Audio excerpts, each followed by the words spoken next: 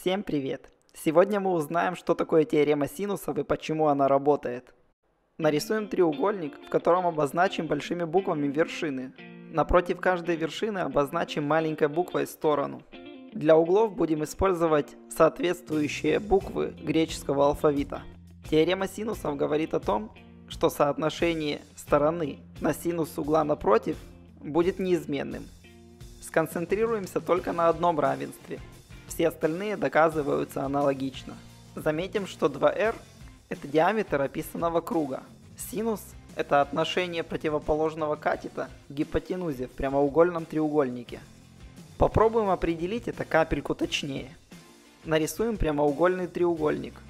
Напротив каждой из вершин обозначим маленькой буквой сторону, соответствующей латинской буквой. Прямой угол принято называть большой буквой С, а гипотенузу маленькой. Чтобы не путаться, обозначим единственный угол бета, синусом которого будет противоположный катет, деленный на гипотенузу. Как вывод получим, что гипотенуза – это катет, деленный на синус противоположного угла.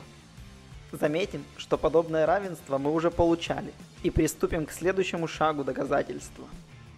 Нарисуем отрезок AB. Обозначим центр и через эту точку проведем линию под 90 градусов. У нее есть название – срединный перпендикуляр. Эта точка также является центром круга, который проходит через AB. На срединном перпендикуляре находятся все возможные точки, которые являются центром круга, который проходит через AB. Это работает, потому что AB вместе с точкой на срединном перпендикуляре образуют равнобедренный треугольник, бедра которого являются радиусом круга. Заметим, что для точек вне срединного перпендикуляра у нас не получится провести круги, которые будут проходить одновременно через A и B. Приступим непосредственно к доказательству. Проведем срединные перпендикуляры для двух сторон. Очень важно здесь остановить видео и понять, почему их пересечение это центр круга, который описывает ABC. От точки пересечения проведем отрезки к вершинам треугольника. Они все равны по свойствам срединного перпендикуляра. Получается, что мы заодно доказали, что три срединных перпендикуляра пересекаются в одной точке. Но мы продолжаем доказывать теорему синусов. Оставим только самое важное на рисунке. Нарисуем вспомогательный треугольник, одна из сторон которого будет являться диаметром нашего круга. Этот треугольник прямоугольный, так как одна из его сторон – это диаметр круга.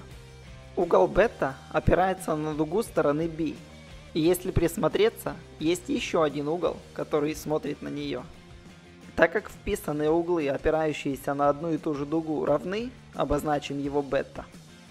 В полученном треугольнике не составит труда найти синус бета и как следствие записать, чему равняется диаметр. Нарисовав прямоугольный треугольник через другую сторону, мы увидим подобную картину, но в ней 2r будет равняться другой стороне на противоположный угол.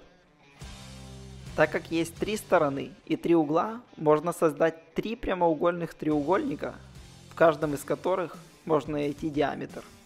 Приравняв все три равенства между собой, мы получим нашу теорему синусов. Если понравилось, не забывайте поддерживать лайками и рассказывать друзьям о канале. Чтобы не пропускать подобные видео, подписывайся с колокольчиком. Пишем комментарии, если что-то непонятно. Спасибо за просмотр.